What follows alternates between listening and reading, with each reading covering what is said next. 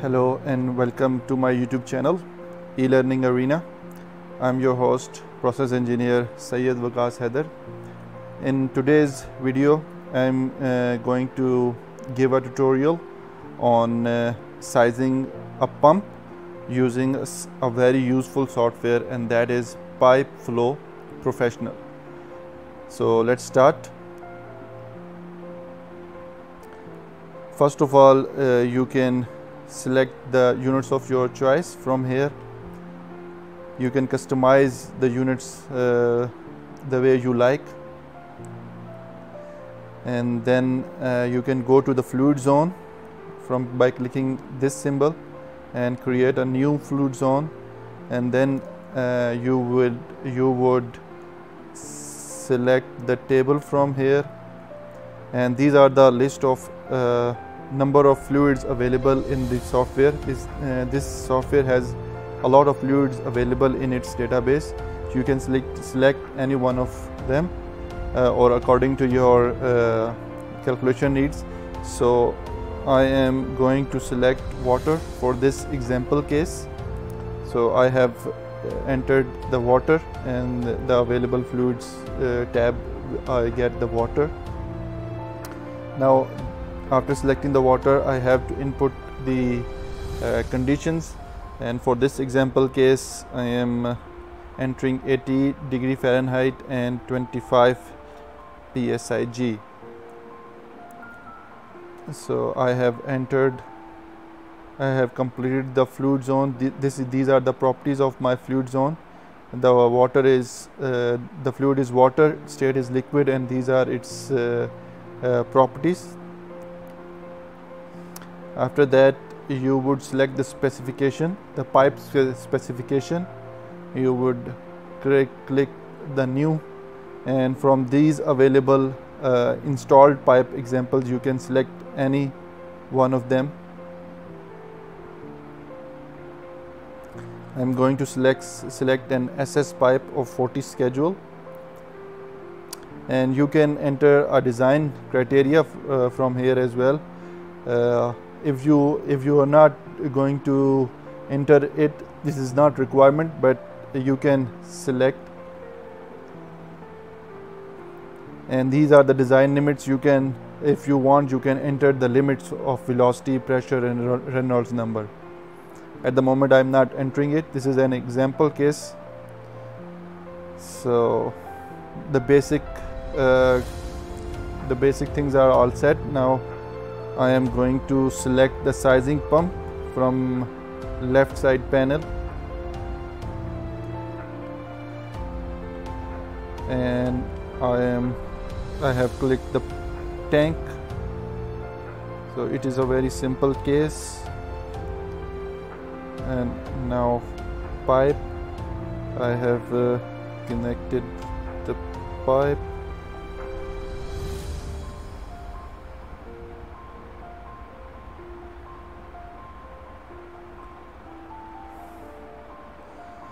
so this is a very simple example case. This is the pump that uh, we are uh, uh, going to size. This is our target. And these are the two tanks. The pump uh, the pump has to suck the fluid from this tank and discharge it to the uh, tank number 2 so these are our requirements. Now I have to input the specifications of these uh, equipments. Let's go to the tank 1 as uh, I click the tank 1 and here are its uh, property grid. I am naming the first tank as reservoir. Let's assume that it is at zero feet elevation. It is at ground level. The section pressure uh, I am assuming that it is an atmospheric tank so surface pressure would be 0 psig liquid liquid level I am going to select a 5 feet now fluid zone I have uh, created the fluid zone uh, already and I uh, now I'm go uh, going to select the fluid zone. And and we know that the fluid zone in this case uh, is water. I have selected it and then I can specify the geometry of this tank. You can select any one of uh, them spherical rectangular cylindrical horizontal or cylindrical vertical according to your needs. And I have selected the rectangular. Now I have to enter its dimensions. I am giving an arbitrary dimensions because this is an example case but when you are sizing an actual uh, case you have to input the correct dimensions according to your case.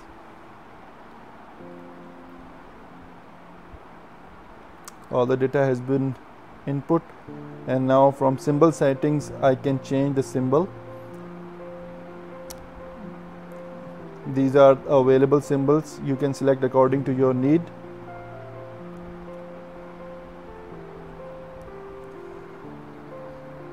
and as I have input the all data it has turned to black. When the color is turned to the black it means that the required uh, data is uh, has been entered successfully. Now I'm going to pipe 1 I have selected the pipe 1 the fluid zone would be again uh, in our case for water and specification now I have to enter the length and I am going to select a 10 feet length for this specific case. I have to enter the size. Uh, you can select a suitable size from here or you can size by clicking uh, these three dot tab. You can size the pipe. You can you uh, you would enter a design flow rate. Let's say the design flow rate uh, would be 8 gpm so it would give the calculated size. So for 8 gpm design flow rate the calculated size is 1.25 inch. Or you can enter uh, the uh, enter the size of your own choice. This is this is up to you. Now by clicking the K valves and fittings I I can enter the valves and fit, fit uh, fittings that this pipe has. Uh, I am entering the data for pipe 1 so let's assume that uh, this this pipe has uh, two ball valves and a one globe valve. And for fittings I am selecting elbow standard 45 degree. So these are the fittings that I have selected the value it calculated for K is 1.61 uh, according to the uh, fittings that I have entered. And that's all set for pi 1 now it is blue one. Uh, as long uh, as I entered the all all the specifications of pi 1 it is it has turned to black. So it's mean that all the data is set. Now I'm going to pipe 2 fluid zone again specification again length. I have to enter the length.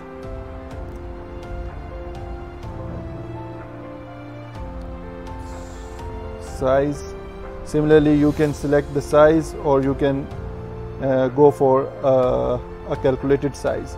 Enter the design flow rate and the software would calculate the appropriate size for this pipe you can select this as well or you can choose the size of your own choice. This is up to you. Again fittings. Again I am adding a globe valve in it. And two ball valves. And as I remind you that this is an example case so I am keeping it very simple. You can add uh, according to your specific case. So pipe 2 data is all set. Now I'm going to tank 2 I'm naming the tank 2 as overhead tank. This is the tank that is our product tank. The pump has to discharge uh, the fluid in this tank. Let's assume that it is located at a height of 10 feet. The surface pressure I am again is assuming that it is atmospheric tank so surface pressure would be 0 psig the liquid level again I am selecting it's 5 feet. Fluid zone would be the water again I can enter the uh, geometry of this tank. So let's assume let's assume that it is a cylindrical vertical tank or you can you can select the top head geometry at the moment it is selected as flat. You can select spherical conical or ellipsoidal. You can select any one of them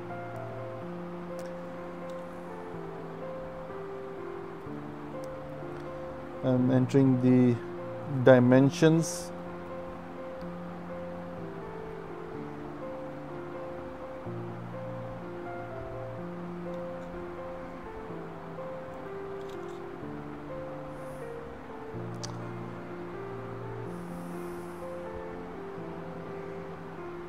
I can change the symbol from here. For this tank I am going to select this symbol all the data is set for the sizing of pump the I am selecting that the suction elevation is 3 feet the discharge would be also the same height and for operation you can select any one of them uh, as the operation mode. On the basis of this operation mode, the software would size the pump. You can select the flow rate, discharge pressure, suction pressure or temperature con control.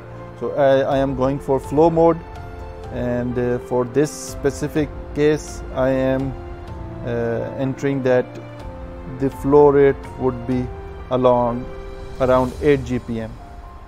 So all the data is set all values all equipment uh, values are black it means that all um, all the specifications has been entered.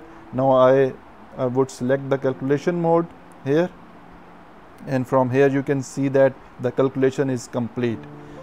And by clicking any component you can see uh, in the property grid in uh, the sizing results. For example I have clicked the pump and I can see the results from here.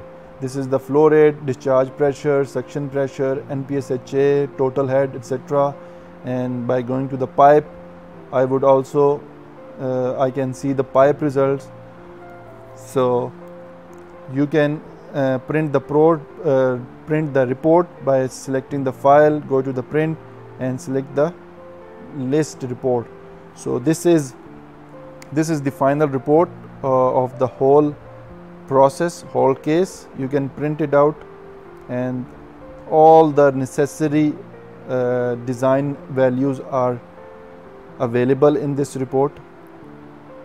You can see the fluid zone, fluid zone pump and pipes and then at the end tanks. All the necessary inputs are available. So this is how you size a pump using Pipe-Flo uh, Pipe-Flo software. So I hope that you uh, you like this tutorial and this would be I hope that it, it was it was a useful uh, tutorial. If you like it please uh, subscribe my channel and share it. Thank you